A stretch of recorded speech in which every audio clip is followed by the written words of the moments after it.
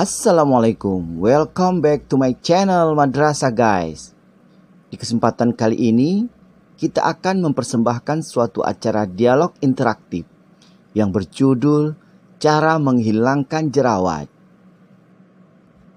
Yang nantinya akan dipandu oleh presenter terkenal, Bung Rano, dengan narasumber Dr. Rian. Namun sebelum lanjut, Mari bersama klik tombol like, subscribe, dan lonceng notifikasi untuk mendapatkan video-video terbaru dari kami dan menambah semangat bagi kami untuk membuat konten-konten yang bermanfaat. Amin ya rabbal alamin. Wassalamualaikum warahmatullahi wabarakatuh. So much later that the old narrator got tired of waiting and they had to hire a new one. Saya mau nanya nih dok, bagaimana cara menghilangkan jerawat secara alami dan cepat tanpa mengeluarkan banyak biaya? Iya, hari ini kita akan memberikan penjelasan bagaimana cara menghilangkan jerawat secara alami. Kita beritahu dulu Jerawat merupakan hal yang sudah biasa terjadi pada remaja yang memasuki masa pubertas. Biasanya jerawat sangat mengganggu. Apakah kita boleh memencet jerawat, Dok? Kita tidak boleh memencet jerawat karena itu akan memberikan luka yang fatal dalam wajah.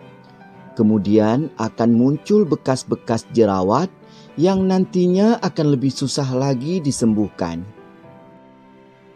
Lalu bagaimana caranya dok agar jerawat kita hilang? Ya, kita akan memberikan penjelasan bagaimana cara menghilangkan jerawat.